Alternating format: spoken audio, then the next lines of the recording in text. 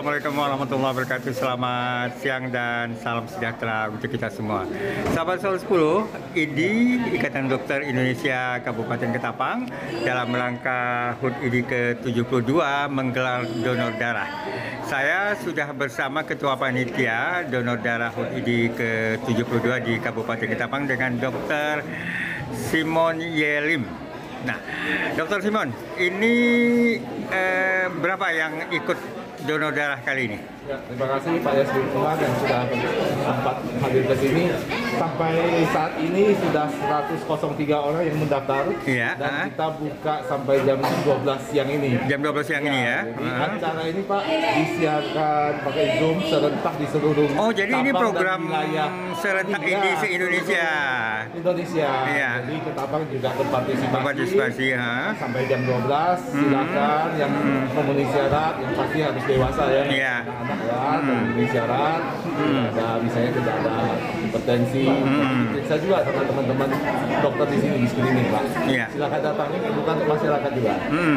Nah, mengapa IDI memilih donor darah ini? Ah, ini Pak, pertanyaan bagus. Memang ini instruksi dari pusat, Pak. Ah. Jadi dari pengurus besar ini, Iya. memang saat ini programnya adalah donor darah serentak seluruh Ah. Indonesia. Kita mengikuti instruksi dari pusat. Ah. Selain donor darah, kita juga bisa rangkaian acaranya itu sampai akhir tahun ini bisa acara-acara kesehatan yang lain. Tapi untuk Iya. hari ini memang fokus Ah. saat ini adalah donor darah. Iya. Donor darah se-Indonesia. Nah, kalau problem masalah darah di Ketapang ini sendiri di- seperti apa Pak Simon? Ah betul, memang seperti kita ketahui don darah ini sering terbatas ya. Bahkan baru 15 menit yang lalu ada Hmm. Iya. dari rumah sakit langsung datang sini minta darah, tapi darah tentu harus diproses dulu. Iya, betul. Hmm. Semoga darah-darah yang dikumpulkan di sini bisa membantu pasien-pasien yang memerlukan ya, Pak ya. Iya. Gitu.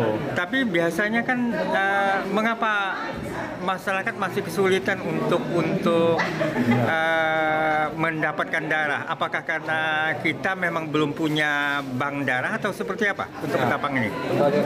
Satu memang kita belum punya bank darah. Hmm. Jadi kita hanya ada UTD di bawah RSUD Dr. Agus Jam. Iya. Belum ada di tempat lain. Hmm. maaf di PRI juga belum ada UTD-nya ya, belum Iya. ada bank darah. Hmm. Dan memang kebutuhannya itu sangat tinggi, Pak.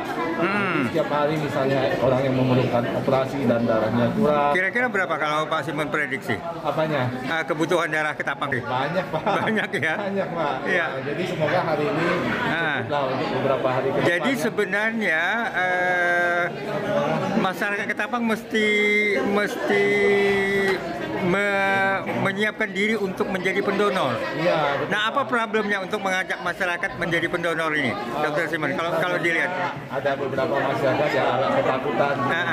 Mendonorkan darahnya.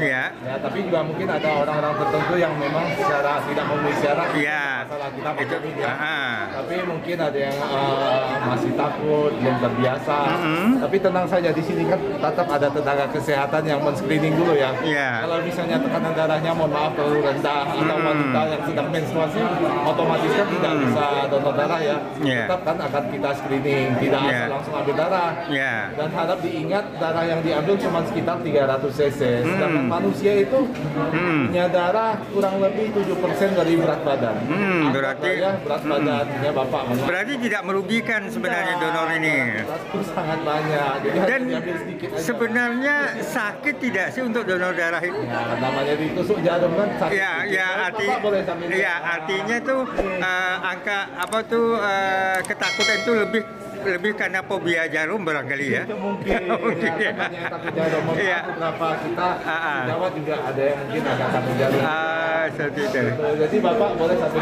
kepada Ah. mendonor Nah, Pak Simon ini yang sudah mendaftar hingga 100 ini dari organisasi mana aja kalau Pak Simon boleh sebutkan? Pertama kita ucapkan dulu pertama pemerintah yang sudah menyiapkan tempat ini ya. Ah. Dari tentara juga ada lihat ya. Iya, iya. Polisi dari ibu-ibu ibu-ibu PKK? Ya, Hah?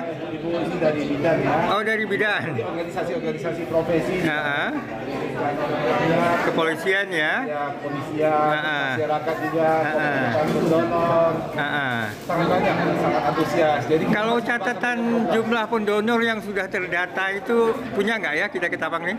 apanya? Oh, kita komunitas donor. Ah, komunitas Setiap donor. komunitas donor punya, Punya- puluhan orang, Iya. ratusan orang. Oke. banyak. Nah, jadi sebenarnya kalau rajin mendonor eh, kebutuhan darah ketapang akan terpenuhi. Amin. Ya, Dokter Simon ya. Dokter Simon terima kasih atas bincang-bincangnya. Nah, kita, ya kita lihat ini. Nah, ini ada ini dari masyarakat nampaknya ini yang ikut donor. Tidak takut kah Pak? Sudah berapa kali donor?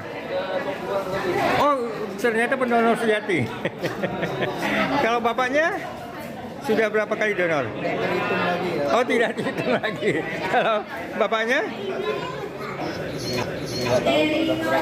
Udah sering rupanya. Ini dari TNI Angkatan Darat. Nah ini dari kepolisian. Nampaknya agak takut ini.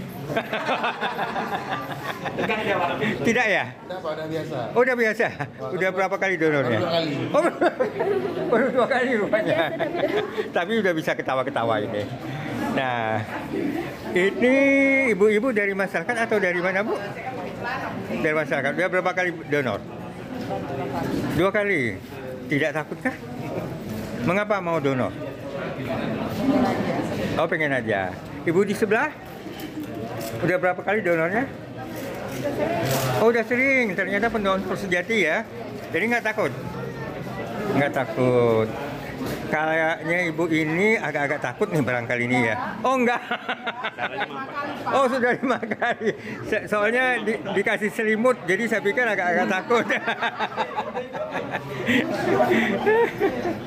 nah ini bapak-bapak dari kepolisian, Eh, abang dari ketua? Oh, Pak dengan Pak siapa? Banyakkah menurunkan pasukan untuk jadi pendonor? Eh, kebetulan cuma saya sendiri. Oh, Oke, tegas. Oke.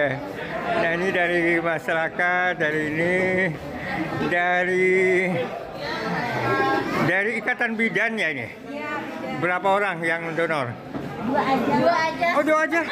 Terima kasih. Uh, sudah sudah seringkah pendonor? Siapa yang donor? Ibu ketua. Oh ya. Dengan ibu siapa? Ibu ketua IBI. Oh bukan. Oke, ini dari remaja ini. Dari? Dari Polres, Pak. Oh dari oh, rupanya Intel. Iya. Ah iya ya. Oke. Bapak dari komunitas donor darah.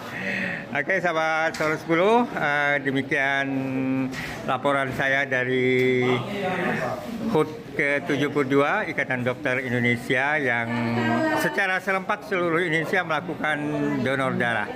Yasmin Umar untuk Solo 10.